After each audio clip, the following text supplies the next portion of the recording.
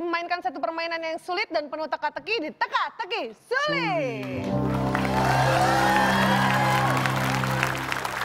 Danau yang ada di Medan, Sumatera Utara. Lega. Kan saya sebutkan tadi. Di mana-mana danau lega, Pak. Kalau kecil namanya kubangan. Kamu udah tahu kan, itu nggak masuk akal, Pak. Ih, Pak, yang kecil kumbangan, yang kecil kan kobokan ya Pak. Kecil sendiri. Itu kan kalau kobokan yang Maksudnya lega tempatnya. tuh apa? Dalam perasaan atau dalam apanya nih, Pak? Dat- Nyampe sana, ah lega. Ini apa, Pak, maksudnya, Pak? Saya mohon maaf, mohon maaf. Nanti Anda ditertawakan orang kan saya nggak enak. Sudah, Pak, dari dulu, Pak. Anda memahami nggak lega di sini maksudnya luas? Ngerti? Tapi nggak kan? pas untuk sebuah ukuran danau. Lega itu ya misal ya habis sakit perut ya ke Loh, belakang. itu Aduh, perasaan bukan ukuran. Tapi kan lebih cocok ah lega rasanya gitu. Oh, kalau itu enggak. Misal nak nunggu anak lahir, lahir Nah. akhirnya lahir, hmm, lega akhirnya. Nah. Itu cocoknya di situ. Makanya Padahal- kenapa digunakan perasaan karena luasnya terbatas, hanya sebatas perasaan. Makanya kata-kata lega itu itu nggak bisa luas seluas luas samudra, lautan, danau. Ya memang oh, bisa danau bisa. Bisa. Kalau danau bilang lega nggak cocok. Kalau danau luas, samudra luas, lautan luas, danau luas cocok. Tapi kalau danau, wih, samudranya lega ya. Siapa mau kontrak ke situ? Kalau lega, Nih saya tanya, dikontrakin nggak tuh samudra?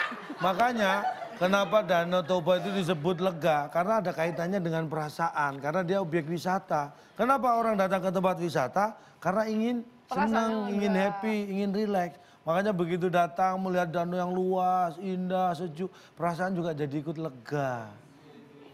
Itu loh. Oke, itulah dia jawabannya. Makanya kaitannya luas dan itu keperasaan. Lima menurun jawabannya adalah Lega. Oke, kita lanjutkan lagi. Kita kasih semangat untuk tim, Tim A. A. Silakan.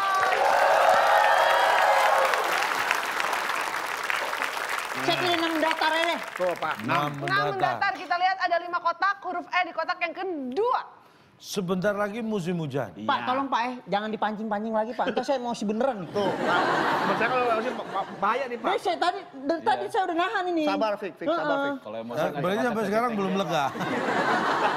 Nih, sebentar lagi musim sabar. hujan. Iya, ya. Ya. Yang di Udah hujan. ya, tapi depan rumah gue udah banjir dari kemarin. iya, Jakarta. Timur. Nih, Ah, pertanyaannya apa? masalahnya kalau musim hujan tuh matahari yang ditunggu-tunggu itu yang kadang-kadang mau jemur kasur, matahari nggak Iya, terbit itu kan nggak Mau enak. jemur matahari Cucian, susah, cucian. Pak. Nah, pertanyaannya apa? Pertanyaannya, Nyambung nggak nih? Nyambung nggak nih? baju yang basah harus segera di Nah, Bapak kan mau dijemur kan ngomongnya. Digelar. Iya benar benar. Apa katanya? Digelar. Pak.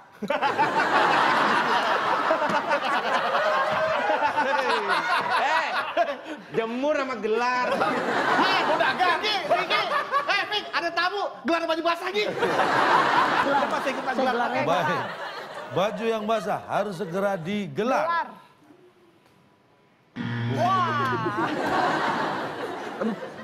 Segera di... Baju yang basah harus segera di Harus segera di... C, C. Habis silakan. Dilepas.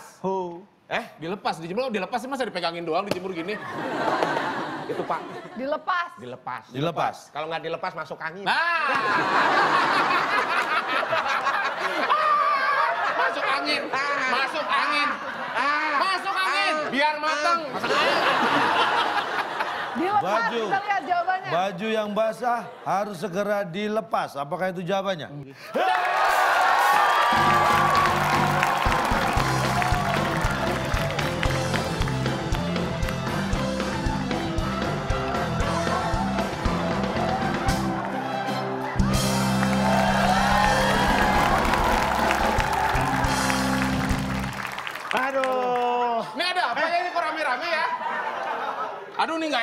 Tetangga jadi berantakan gini.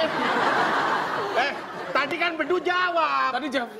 Maaf, Bapak bisa ngomongnya baik-baik ya ke kuping saya. Tadi Bedu kan jawab. Iya, dia jawab, tapi jawabannya salah. Aduh, lu jawab salah, Du. Udah berapa tahun ikut ginian, Du? Tadi menyaksikan, katanya nih yakin yang lawan Eh, kita. eh, maaf sebentar bapak-bapak. Nih, mangganya mau saya gelar dulu bentar. Aduh. eh, ini kuenya dong silakan. Ada ada suara apa nih biasanya bar suara apa kan? Ini, ini didengerin dulu. Duk, duk. Ayu. Ayo. Ah, lu buku keren, eh, jadi ayu, ayu tak tak. Kan dinikmatin dong, udah disiapin. Kalau lihat kuningnya kayaknya manis kayak kemarin nih, seger nih. Eh, ah bohong asal banget ini sumpah.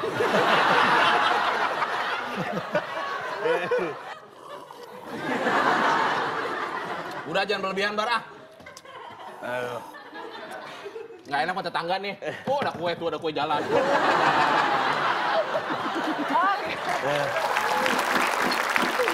Halus wa, Aduh.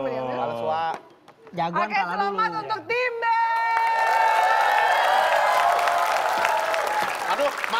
bekas perayaan kita tadi ada kotornya tuh. Eh, lu baru bener satu aja sombong lu. Balas dulu ntar lu. Iya, lu aja gelar.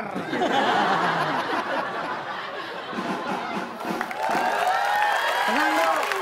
Ayo, Pak. Ini tiga udah capek banget ya. Aduh. Dan sekarang giliran tim, Tim B.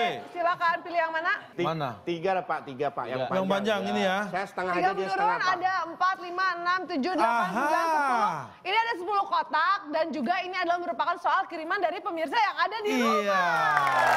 Ini dia. Eh, Coba kami ditunggu. Ini pengirim dari Muhammad Syahid, pelajar SMA di Cirebon. Wow. Perhatikan baik-baik pertanyaan dari Muhammad Syahid. Ini dia. Selamat untuk Muhammad Tiga Syahid. menurun. 10 huruf, huruf keempat A yang memimpin sebuah desa. Namanya Iya. Nah, Ada 10 kotak itu menurun ya, huruf, huruf keempat A. Yang memimpin- memimpin sebuah desa. Namanya? Bapak-bapak. Bapak-bapak. Baik. Bapak-bapak ya. Bentar, kita lihat.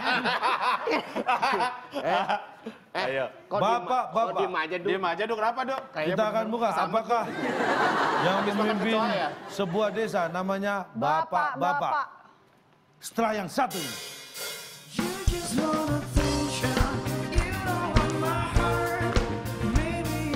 Pak, kalau bedain nyamuk jantan sama nyamuk betina dari mana Ah, Pak? gampang. Lihat KTP-nya. Membedakan nyamuk jantan dan betina itu simpel. Limpar saja handuk. Oh. Kalau dia makainya sampai ke atas dia nyamuk betina, kalau nyamuk di sini nyamuk jantan. Oke.